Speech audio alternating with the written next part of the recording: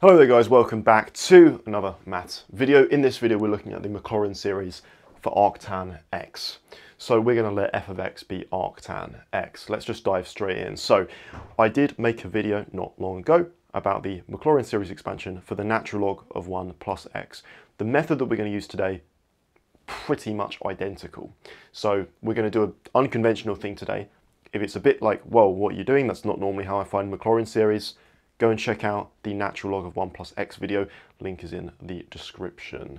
So this is not the typical way that you find the Maclaurin series, because normally what you what do you do? You just differentiate, substitute zero, put it into the formula. But we're going to do something different because for reasons that I'll explain just now actually. So the way that you would normally find this is you would just differentiate your arctan x, right? So the derivative of arctan x, well, again, link is in the description for this one as well. The derivative of arctan x is 1 over 1 plus x squared, like this. Now, it's not obvious that you go from here to here when you differentiate. That's why I've put a video uh, link in the description below, because you, I think that's worth showing in and of itself. If you're happy that the derivative of arctan x is 1 over 1 plus x squared, then you would just differentiate again. But if you differentiate 1 over 1 plus x squared, you'd get minus 2x over 1 plus x squared squared. So the second derivative here would be uh, minus 2x divided by 1 plus x squared squared. Now imagine trying to differentiate that. It's doable, it's not that bad, but you need the product rule or, or, you could use the quotient rule, but you also need the chain rule. And then it's just a long day because after you've done that and you found the third derivative, differentiating the third derivative, oh, it just takes so long. And then you got to do the fourth one and it gets harder and harder and harder as you go along because you have to differentiate more and more stuff. The derivatives become longer. It's just a mess. So we don't want to do that. We're going to do a different method, a much easier method. Okay, so what we're going to do is we're going to rewrite arctan x as the integral of its derivative. Because by the fundamental theorem of calculus, the integral of a derivative is the original function. However, there might be a plus c, so we need to stop there from being a plus c. So I hope that we're happy with this.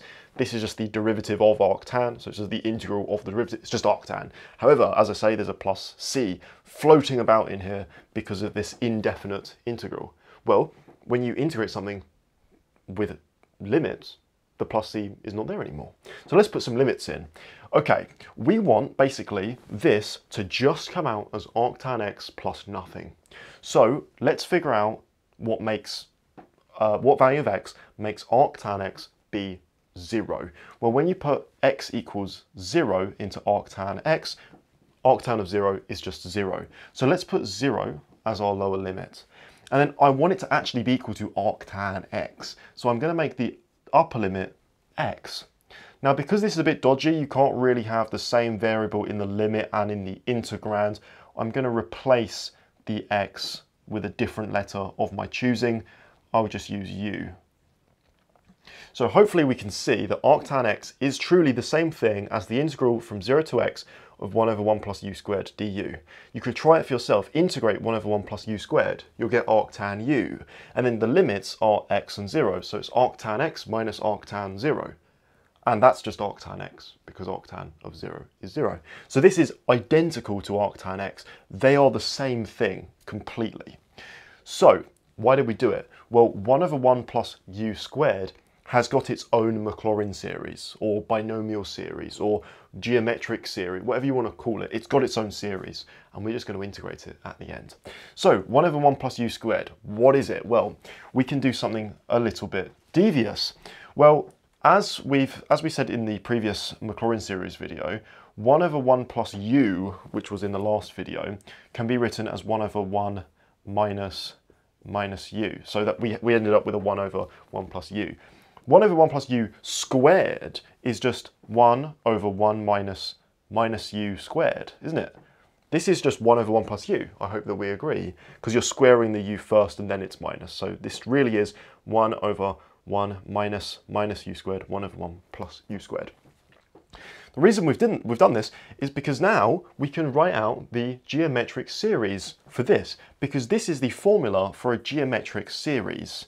It's a geometric, geometric series, and it's convergent. This is the sum to infinity formula, but instead of a, it's 1. Some people also use u1. Instead of u1, it's 1. And instead of r, it's minus u squared. So as long as the modulus of minus u squared is less than 1, this will converge. Mm, lovely. Okay, so let's just bear this in mind. All right then, so we're going to replace, basically, 1 over 1 plus u squared with the geometric series that corresponds to this. So in other words, arctan x is equal to the integral from 0 to x of the corresponding geometric series. This is the this is the sum to infinity. Let's just go backwards for a second and write down the original geometric series that would give this sum to infinity. Well, it would be 1 and the common ratio is minus u squared. So it's 1 minus u squared plus u to the 4 minus u to the 6 plus u to the 8 um, minus, you know, etc. forever. It's infinite. So this is what we've got. This is still arctan, provided that u, or the modulus of u negative, u squared, is less than 1. By the way, the modulus of a negative is just the modulus of the positive. So this is the same thing as just u squared and if the modulus of u squared is less than 1, then the modulus of u is just less than 1, isn't it? So just this is another thing as well to make note of. As long as u is less than 1, modulus of u is less than 1, we're good. Okay, anyways, that's a side note. All we do now is we integrate this. So this is equal to the integral. Integral of 1 with respect to u is u. We end up with u cubed over 3 plus uh, u to the 5 over 5 minus u to the 7 over 7 plus u to the 9 over 9 minus dot dot dot forever. And the limits are uh, 0 and x. So it's the odd numbers. Okay, odd pack because this is kind of like u to the 1 over 1, isn't it? Lovely, okay, and then we just replace everything with an x. So um, u to the 1 over 1, it's just x, isn't it? And then minus x cubed over 3 plus x to the 5 over 5 minus x to the 7 over 7 plus x to the 9 over 9, etc. Forever. Done. Because when you substitute 0 in, guys, to this, you just get 0, don't you? Because every term has a u in it, so it's just 0. So this is our Maclaurin series for arctan x. We're basically done. As long as the modulus of x is less than 1, then this will converge. And again, the reason for that is just because of this. u and x are basically equivalent to each other. We just called u u because we didn't want to call it x, but they're the same thing.